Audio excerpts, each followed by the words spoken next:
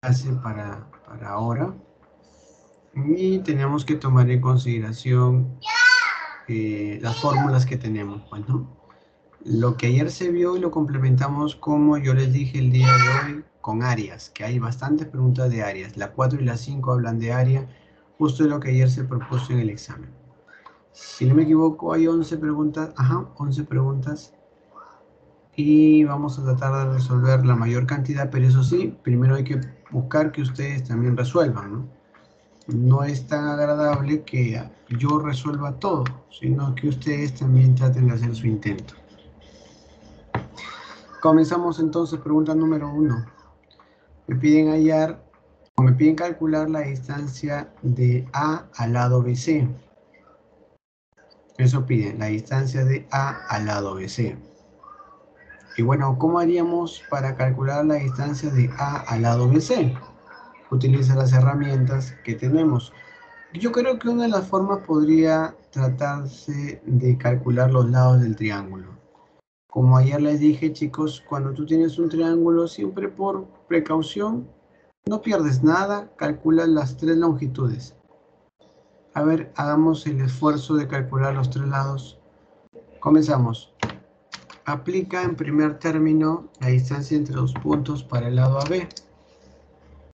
A ver, ¿se puede pasar por acá? Sí se puede. Comenzamos. Distancia del lado AB.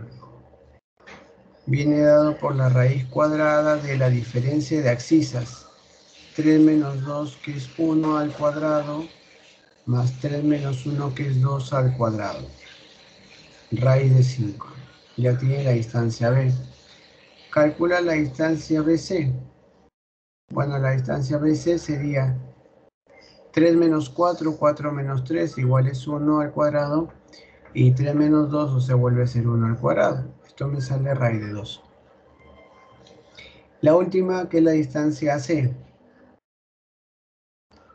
y observo que 4 menos 2 es 2 al cuadrado y 2 menos 1 que es 1 al cuadrado. Profesor, eso significa que su distancia C sale la raíz de 5 también. Es cierto. Entonces logro corroborar que entre AC hay una raíz de 5 y entre AB hay una raíz de 5. Este triángulo es isósceles. Entonces, ahí me piden la distancia de A al lado BC, o sea, una perpendicular. Me piden esto. Pero al ser isósceles, esto es bisectriz, es mediana. Y me piden esto. Yo creo que todos se percatan de algo, ¿no? Si la altura que yo he trazado, que es la distancia al lado BC, ya está trazada y la llamé X, entre BC había un dato que era raíz de 2. Pártelo en 2.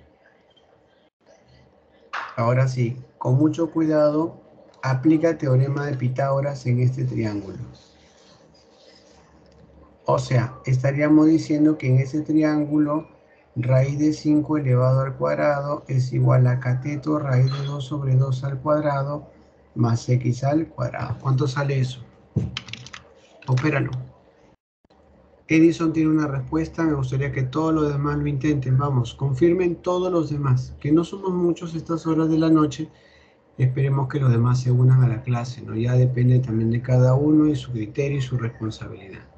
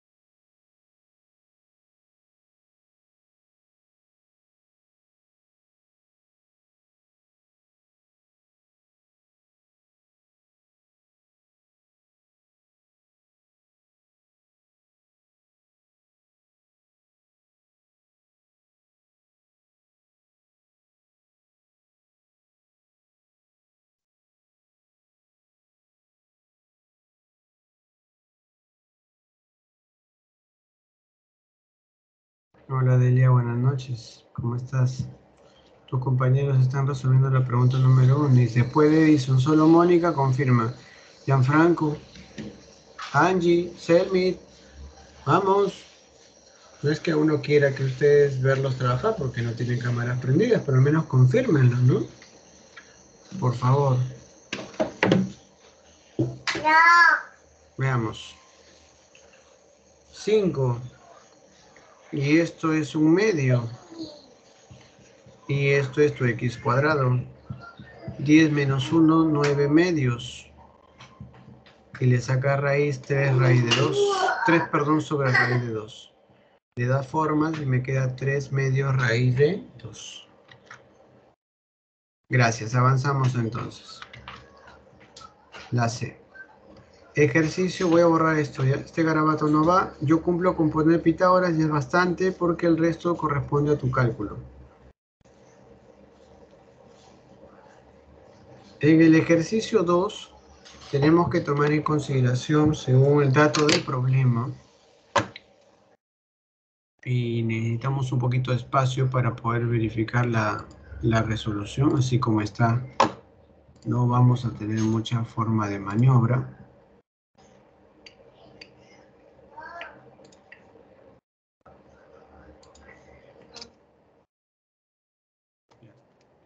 Tener mejor espacio.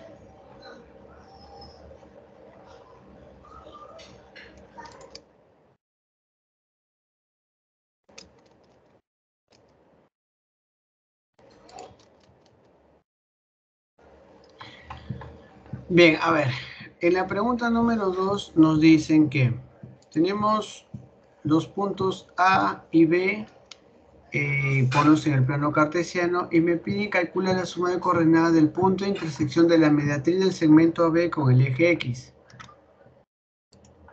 Ok, entonces lo que tenemos que tratar primero es de saber dónde está este segmento, ¿no? AB y el plano tiene que estar dibujado, si no obviamente no voy a poder tener noción de cómo se maneja.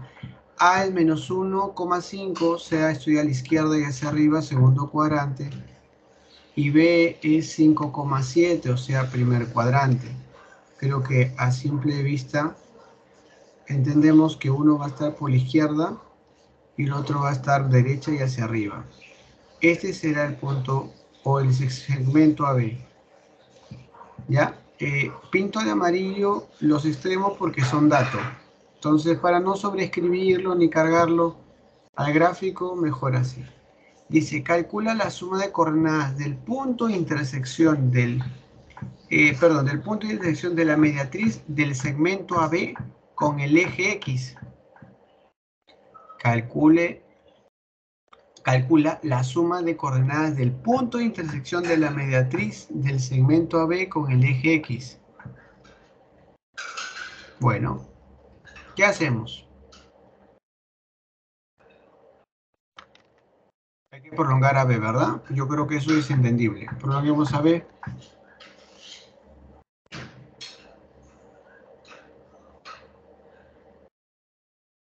Perdón, no es prolongar a B es trazar la mediatriz. Calcula la suma de coordenadas del punto de intersección de la mediatriz del segmento AB con el eje X. O sea que al segmento AB le voy a trazar su mediatriz. Y tú sabes que esa mediatriz tiene el poder de formar 90 grados y de ser mediana. Pero esa mediatriz va a cortar al eje X y lo que él quiere es que yo le dé el X, 0.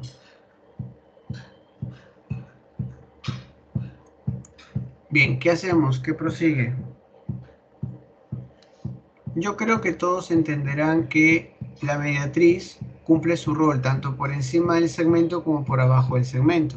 Vale decir que si alguno de ustedes se anima a trazar esta longitud y une la otra longitud, puede asegurar que se forma un isósceles con distancias iguales. Solo que para el cálculo, a ese punto verde le voy a llamar punto P y el marco teórico me ayuda a describir que la distancia P va a ser igual a la distancia PB.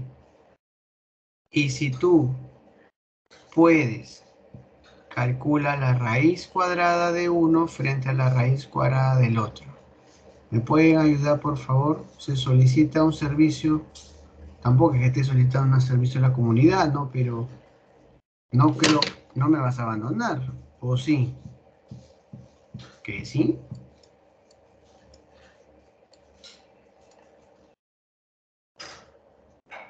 Ya. Distancia entre dos puntos. A ver, comenzamos. El punto, primero el A. El A con P. Ya, x menos menos 1, x más 1. Más diferencia de ordenada 5 menos 0, 5 al cuadrado. Lo mismo ahora con B. Eh, x menos 5 elevado al cuadrado y 7 menos 0 elevado al cuadrado. Todos vemos que las raíces se cancelan y me quedo con esto.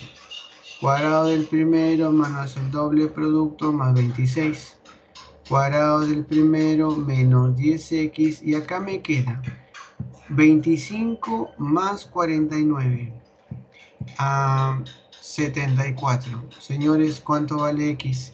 Y una vez que el x lo tienes, pues proceda al reemplazo. Y en el reemplazo proceda a la suma. ¿Qué sale? Tenemos a David que está enviando una posibilidad de respuesta para él en la E. No sé qué confirma mi querido eh, Dalia, Jan, Selmit, no te vayas, Selmit, igual que todas las clases últimas.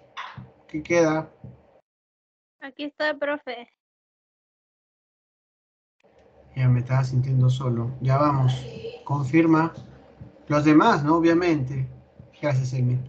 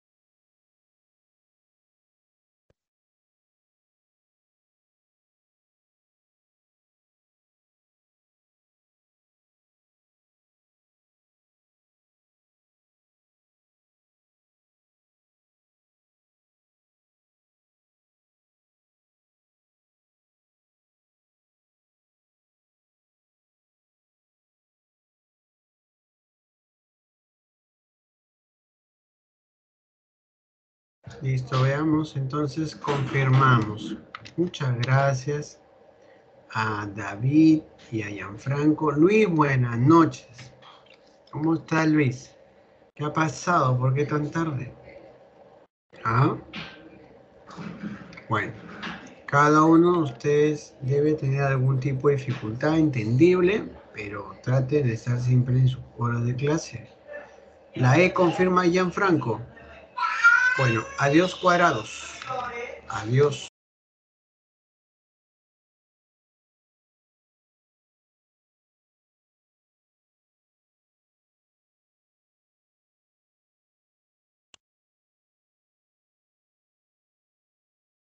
¿Cierto? Así es la operación, ¿sí o no?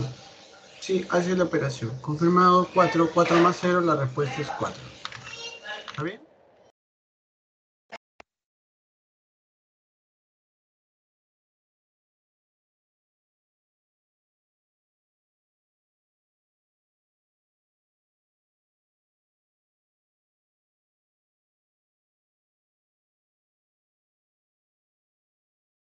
Pregunta número 3. Gracias. Hola Raquel, buenas noches también. ¿Cómo estás? Vamos a la pregunta número 3, que algo como que medio parecido ocurrió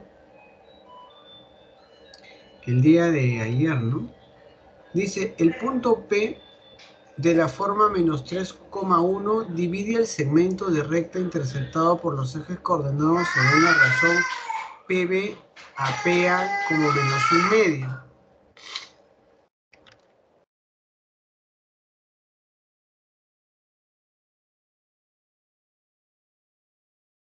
¿Qué significa que cuando yo tengo una relación de segmentos salga menos un medio? ¿Qué explicación se tiene? ¿Por qué es que sale así? En primer lugar, ese punto menos 3,1 voy a tratar de eh, imaginarlo en el plano. Izquierda menos 3 subes hasta el punto 1, no voy a exagerar tampoco. Dice que ese punto divide el segmento de recta interceptado por los ejes coordenados eh, PB a PA. Eh, determinar los puntos A y B sabiendo que A está sobre el eje X y B está sobre el eje Y. Entonces, eso es lo que está pasando.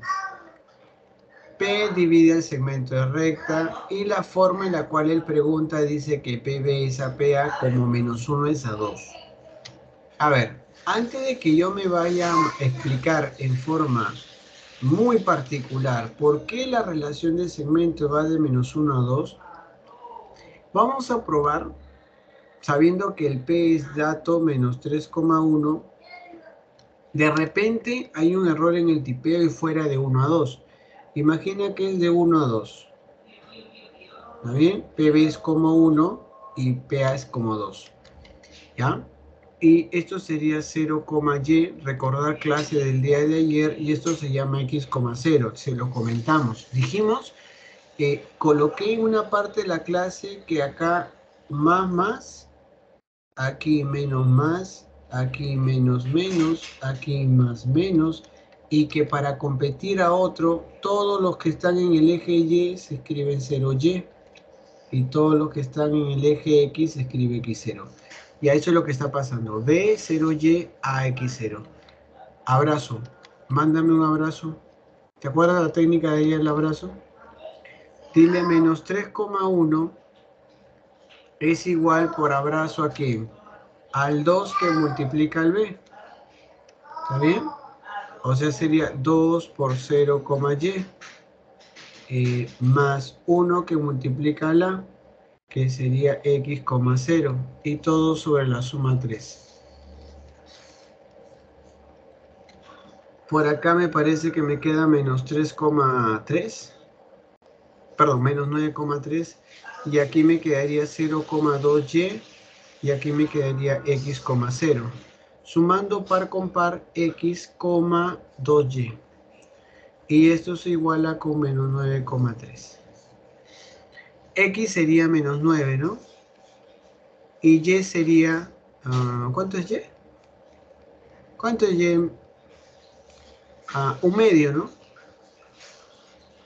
Un medio. Claro, porque... ¿Qué estoy hablando? Perdóname, lapsus aliancistus brutus, tres medios. Tres medios. Te piden sumar las dos coordenadas o te piden sumar... ¿Qué te piden sumar? Ah, te piden sumar los dos... A ver, suma menos 9 más 3 medios, ¿cuánto sale? ¿Cuánto sale Raquel, Luis, que acaban de llegar recientemente? Entonces, profesor, este menos no debió estar, ¿no? No, no debió estar. Pero puede y cabe la posibilidad que alguna vez me den una proporción y sea con una forma negativa, sí. Sí cabe la posibilidad. Eso sí, es posible. No ha sido el caso, pero no te voy a negar que es posible. ¿Para qué te digo que no es así? Menos 15 medios, o sea, la C puede ser. Vamos, vamos, vamos, que estamos entrando a la parte del curso con mayor expectativa en el caso analítico, ¿eh?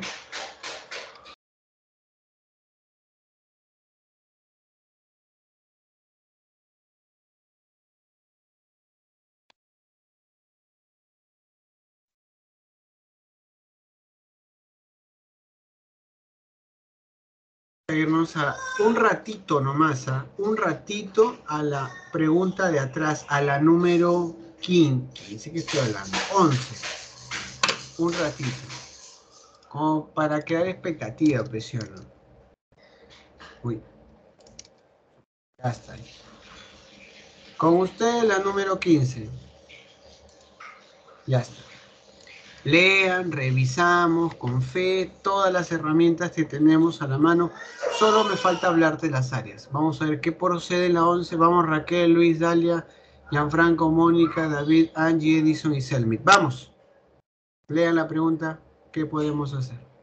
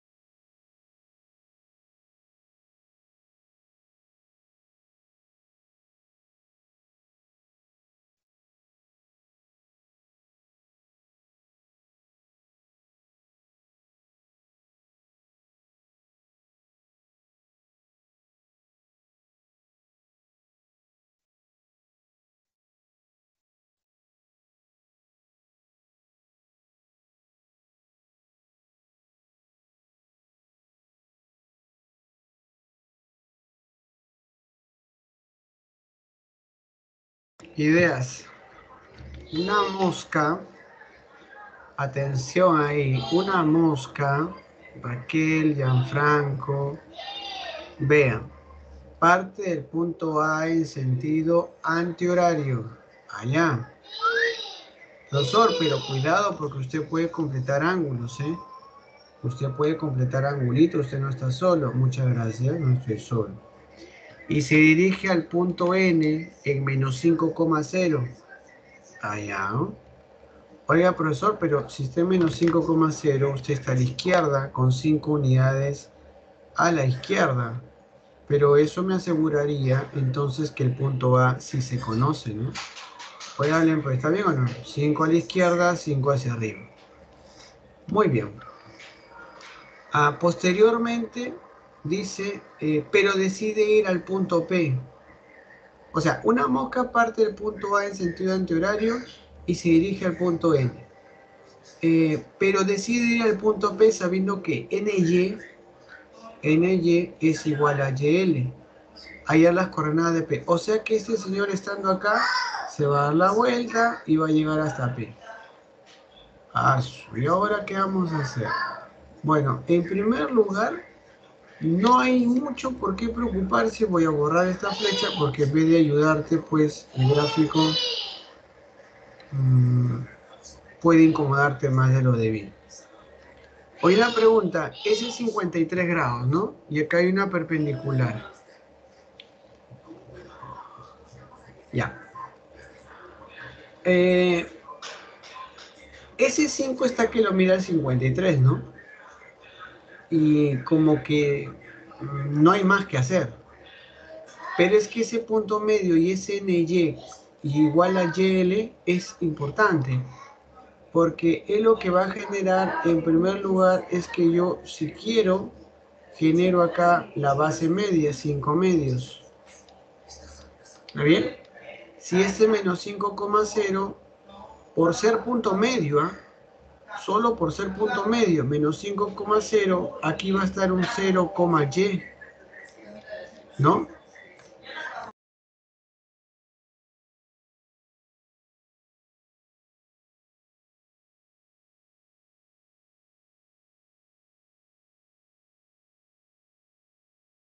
¿Y ahora qué más?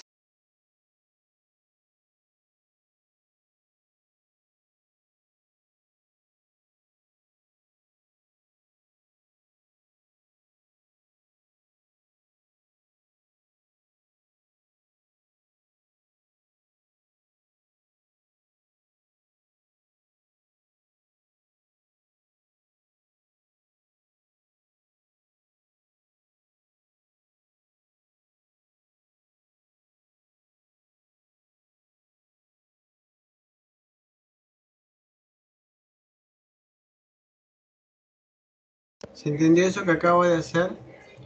Como es base media, 5 medios. El y está a la izquierda, 5 medios, por eso va con menos 5 medios. Y voy a ser honesto, ¿no? Ah, si es 0 y el otro es y, la suma entre dos y medios. Espero que eso sí se logre entender. ¿Estamos? Ahora, esto va a ser y medios y esto también va a ser y medios y tal. Tararán, tararán.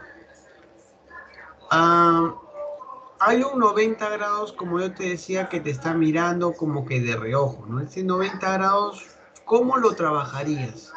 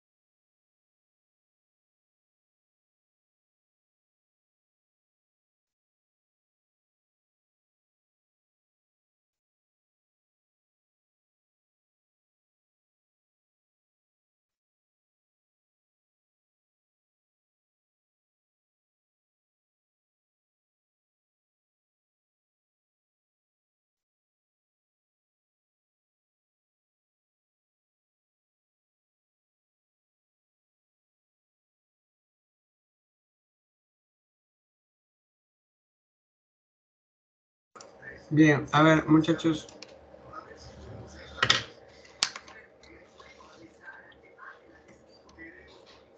Me parece que en el texto, si tú lo lees bien, eh, todo bien hasta el punto N. ¿No? Pero acá hay algo que me llama un poquito la atención, porque, porque él remarca que va en sentido antihorario. Eh, se dirige al punto N, coma, pero decide ir al punto P. Pareciera de que ahí falta un pedazo de texto. O sea, se dirige al punto N, pero de pronto dice, decide el punto E drásticamente. Lo digo porque, porque si ustedes se percatan, eh, se logra encontrar Y solo en su axisa. El origen de coordenadas está acá, pero solo en su axisa no tengo ningún rastro de Y y de P. Bueno, P lo pedido, ¿no? Y con respecto a NY y YL, el 53 grados está como inoperante. Ya no tenemos el valor de NY tampoco, solo tenemos el, el CS5. Ahora, una cosa que podrías intentar hacer, discúlpame, un trazo nada oportuno una de las situaciones que puedes hacer es explotar ese 53 grados que está acá encerrado. No, cuidado, aquí. 90 generas, ¿no? Hay un 5, hay un 5 y acá hay un 53. Es trazarle acá una altura, ¿no? Bajarle acá una alturita para poder trabajar en función a que a este serruchito le pone 5K y por acá viene 4K, 3K, pero te queda un vacío. La otra es que la altura sea por acá y que a partir de él, pues, pero otra vez 4K, este sería 5K y este es 3K, te queda otro vacío. O sea, pareciera que ahí falta una conexión. Voy a borrar esto, ¿ya? Hasta ahí,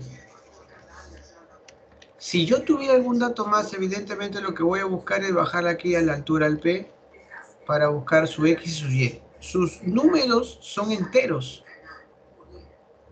Para que sus números sean enteros es porque hay algo más que de repente aquí está cumpliendo. De repente eh, aquí hay una Z, hay paralelismo, no sé, de repente me pongo a pensar, mira, pasaría si entre el pedazo de faltante esto en verdad es 90 y este es el 53? Si fuera así y hubiera un paralelismo y el 53 estuviera acá, acá viene 4, acá viene 3. ¿Está bien? Esto es 3. Sabiendo que esto es 3, 3, distancia entre los puntos, el Y te sale. Si tienes el Y que te sale, tienes todo este cateto y te va a salir evidentemente más. Ni siquiera lo debería calcular porque con 5 y con 53 esto sale. Ahora, si fuera 90, mira, acá viene 37, pasa por opuesto por el vértice y te genera 3, 4. Ahí te piden hallar justo la coordenada de P. Pero lamentablemente es una corrección que yo le tendría que dar. Y si yo le doy una corrección así como está, mm, de repente no sería lo más óptimo. Lo que voy a tratar de hacer es buscar el pedacito faltante, porque así como lo vemos, no vamos a llegar, no vamos a llegar al punto P, porque nos están faltando datos. Limpio toda la expresión y lo dejo como lo encontré hace unos minutos borro ese 3 y borro ese 90 porque ese yo lo puse porque estoy tratando de hacer pruebas. Así que por lo tanto en este momento acá tú te vas a quedar con el 5 medios tal como se quedó.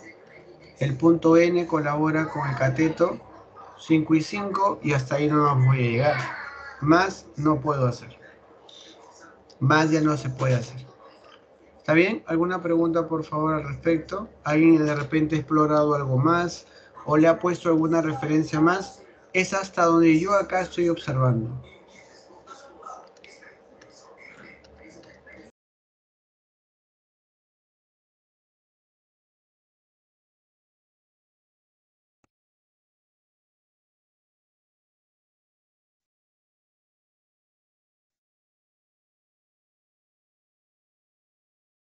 Listo. ¿Ninguna otra pregunta? David, Angie, Edison, Mónica, Dalia, Raquel, ¿está claro lo que acabo de decirles? No hay cómo llegar al P porque no hay datos que me puedan llegar hasta la parte superior. No tenemos. No tenemos nada acá, no tenemos nada acá, no tenemos tal como está. Me quedo atrapado en el lado izquierdo y nunca logro irme al lado derecho. ¿Está bien? El único dato conocido que está al lado derecho es el 5.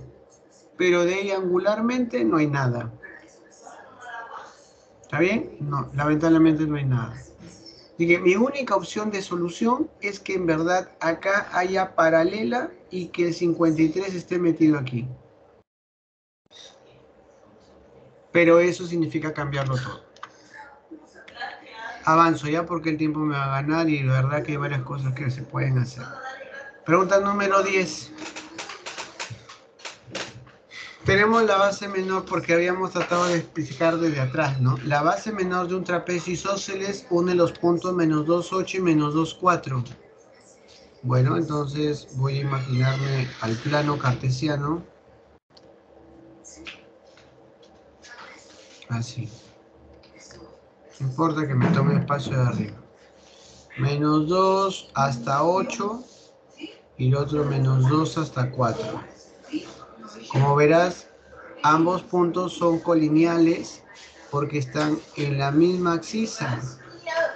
yo le voy a poner A, ¿está bien? Y le voy a poner B. Él dice que es un trapecio de tipo isósceles. ¿Ah?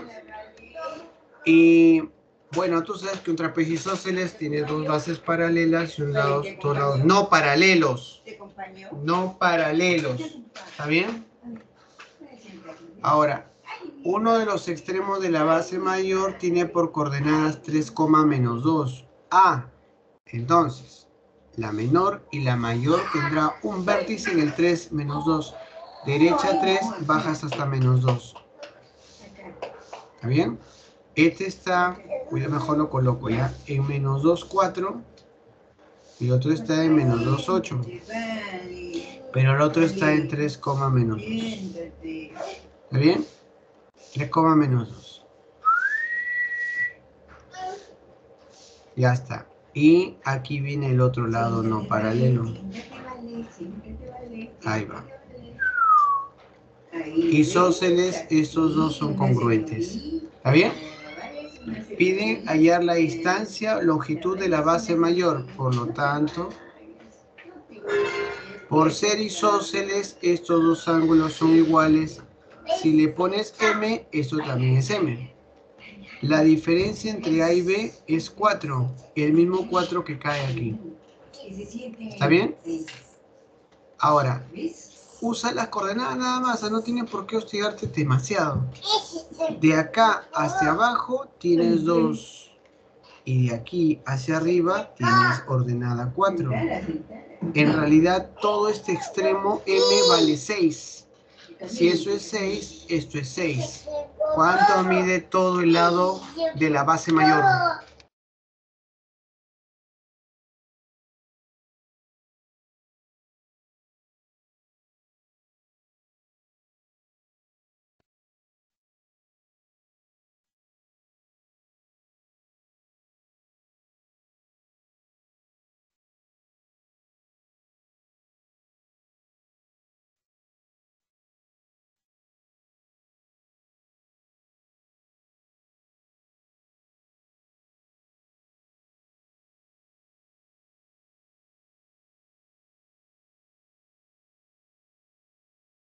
16.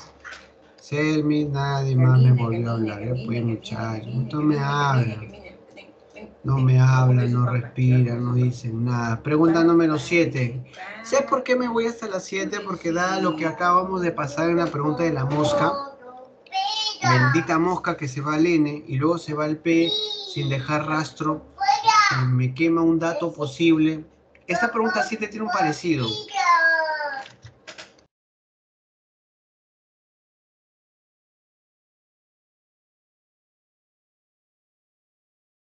Se nota la proporción en la que AB es el doble de BC. Entonces, si yo le pongo al BC como A y AB es el doble, le ponemos 2A.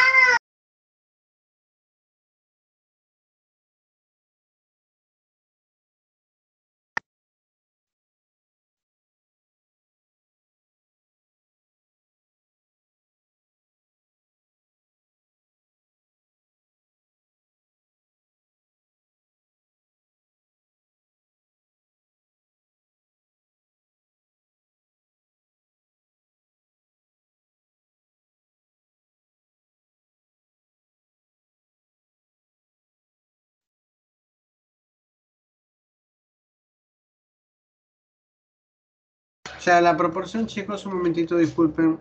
La proporción es de 1 a 2. Entonces, al colocar la relación de estos bracitos que forman 90, porque es lo que aparece en la figura, ahí me piden hallarse. Te juro que así como está la pregunta, quien no tiene experiencia, sabes que va a querer hacer distancia entre dos puntos. Y le va a salir muy extenso, porque como el punto C es lo pedido, como todos nosotros los normales, pondremos X, Y. Pero ¿sabes qué te puede salvar? El plano. Yo a la misma figura, para no demorar mucho, porque si me pongo a graficarlo me demoro demasiado, menos 32 es izquierda y hacia arriba, y menos 2,3 también es izquierda, 3 hacia arriba. Mm.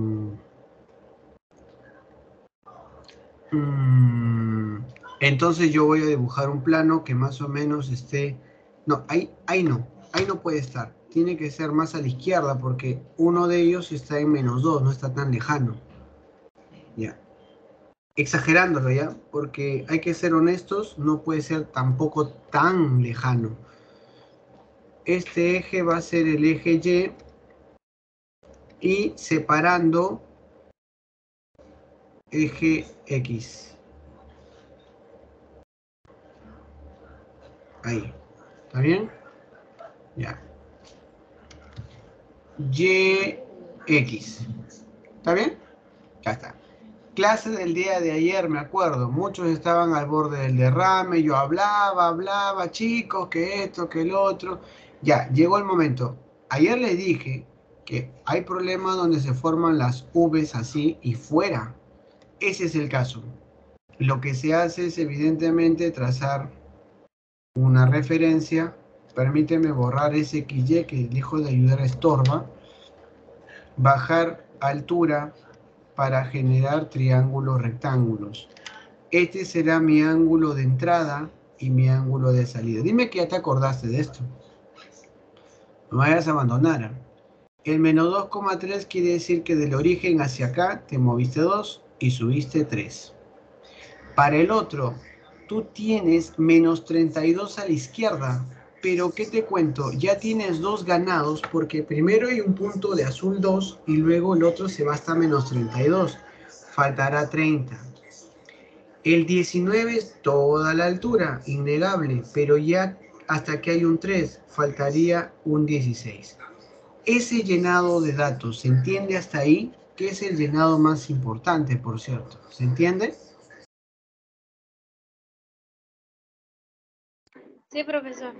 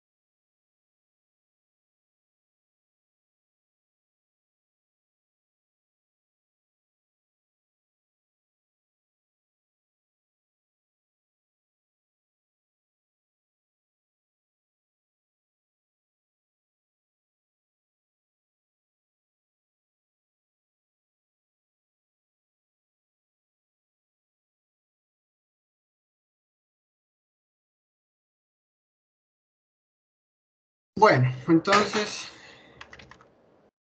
ya, pero una vez que eso se ha formado, no fue mi pregunta en vano. Es que este triángulo para arriba tiene su hipotenusa como 2 y el de acá tiene hipotenusa como 1. O sea, sus lados son proporcionales por las hipotenusas. O sea, mientras el triángulo de arriba tiene hipotenusa 2A, ángulo agudo teta, el otro tiene hipotenusa A y el mismo teta. Significa que los dos triángulos son proporcionales. Uno tiene las dimensiones duplicadas con respecto al otro. Entonces lo que yo tengo que hacer es simplemente generar los lados para el de atrás. Como a teta se lo pone 30 y a mí, en mi caso, eh, debe oponerse 15, la mitad, porque uno es el doble del otro. Pero ya tenía 3, falta 12. Con respecto al adyacente de teta, su costadito es 16. Está bien. Pero entonces para mí, mi adyacente es la mitad, 8. Profe, pero no se vaya a olvidar que acá había un 2, ¿ah? Ah, sí, tiene razón. Que mi gráfico, ah, he intentado lo más que se ha podido. Y la pregunta te pide la coordenada C. Entonces, si yo me doy cuenta y verifico todo el movimiento horizontal, diré que a la izquierda hay 10. Y también puedo percibir que hacia abajo, del origen hacia abajo, hay 12. Entonces la coordenada menos 10, menos 12.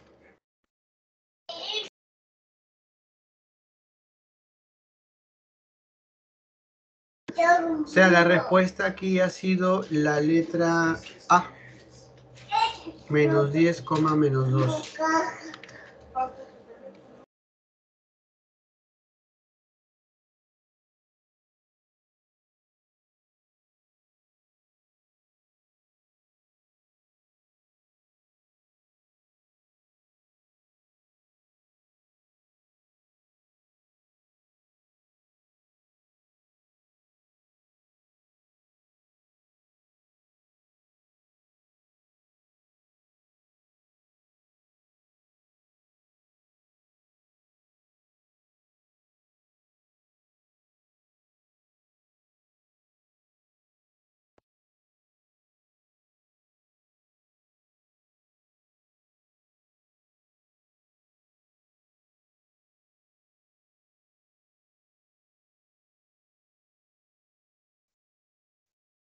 Bien, para terminar ya la clase, pregunta número 5.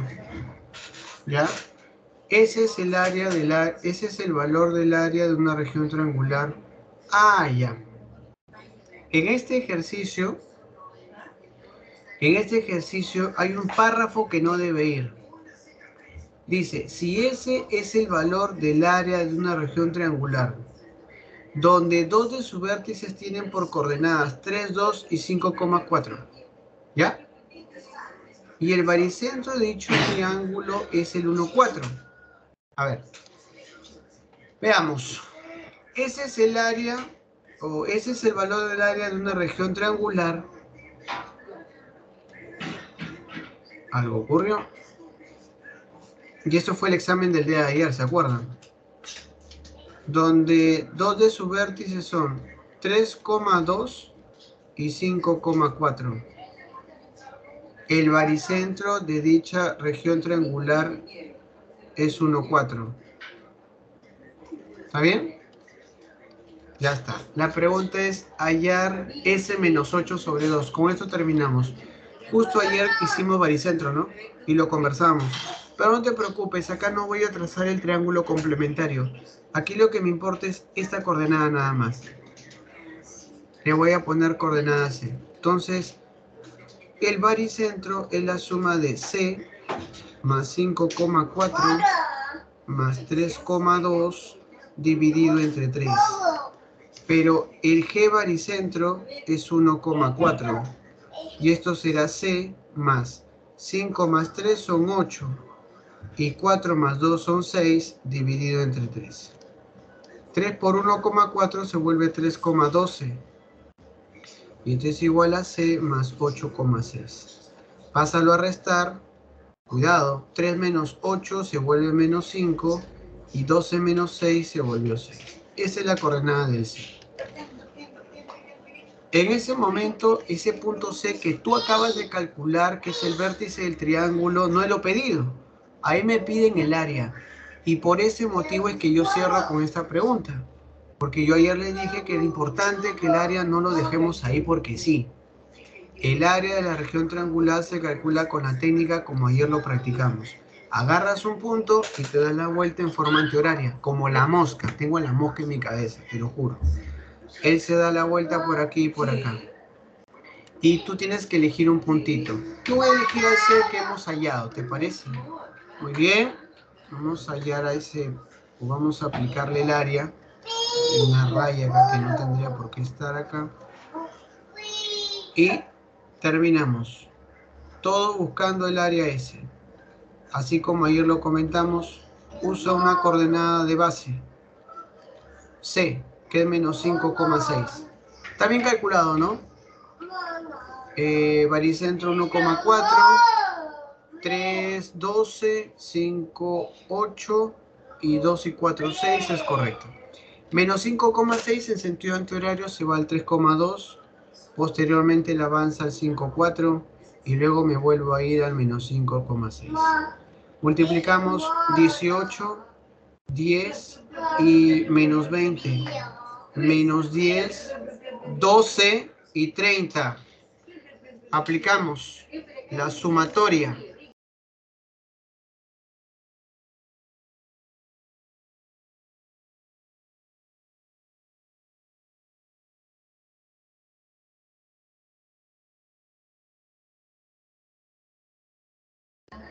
¿Cuánto tenemos en esta columna? 42 menos 10, 32. Ahora tocaría por el otro lado. Tendrías 28 menos 20. 28 menos 20 es 8. El área es igual a la derecha 32 menos 8, porque la técnica es así, derecha menos izquierda sobre 2. Podría ser al revés también, porque en realidad esta fórmula lleva un valor absoluto y no habría ningún problema. 32 menos 8 son 24. Entre 2 son 12. No, esa no es la respuesta. Tienes que sustituir el 12 y dejarlo en 12 menos 8 sobre 2. Que a la larga es 4 medios. O sea, 2. ¿Está bien?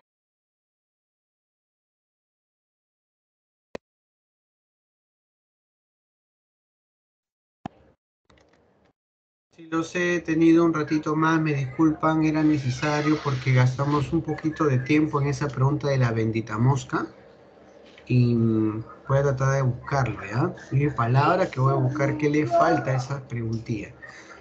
Próxima clase, en la próxima ocasión nos espera la ecuación de la recta. Es un tema bien bonito el de la recta, pero para explicarlo necesito que tú tengas este soporte de la analítica. Muchas gracias por estar en la clase.